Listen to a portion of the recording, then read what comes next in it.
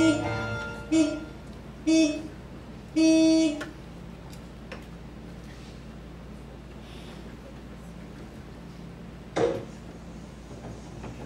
Um, is Kurt okay? Well, he passed out.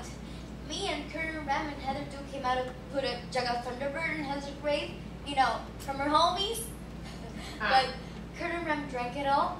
Then Ram and Heather went off together, and Kurt started grabbing me and wouldn't stop. Um, after everything that happens at Ram's party, why did you call me? Oh, that was the deal.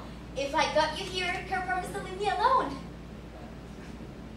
So, so you avoided date rape by volunteering me for date rape.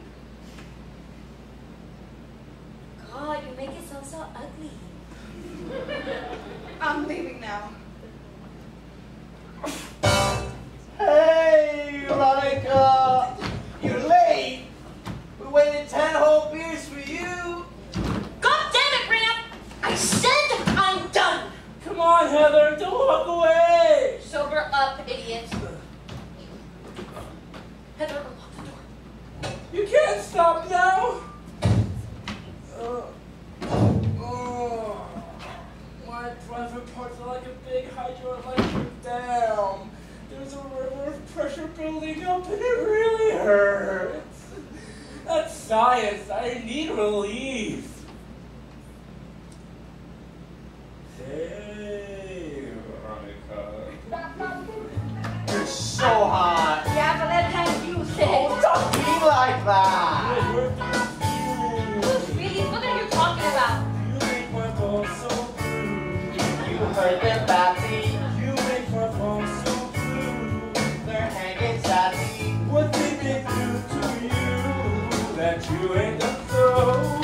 from me.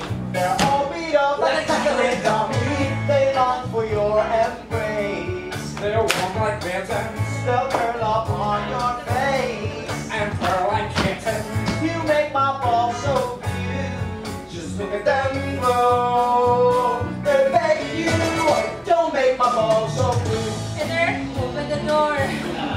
oh no, oh no, no, no. Open the door!